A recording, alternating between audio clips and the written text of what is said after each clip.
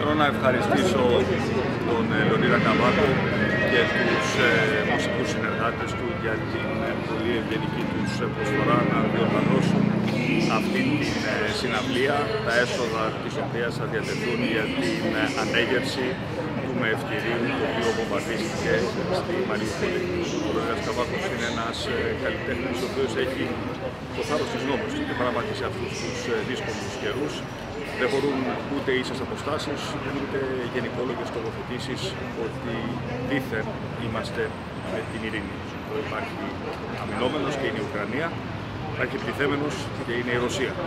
Και εύχομαι και ελπίζω σήμερα ε, το βιολί του Λεωνίδα να ακουστεί ε, πιο δυνατά ε, από τις ε, βόμβες ε, της Ρωσίας και το μήνυμα του να φτάσει και να δώσει μια ένεση στήριξης στη Μαλτινική Μαρίνη.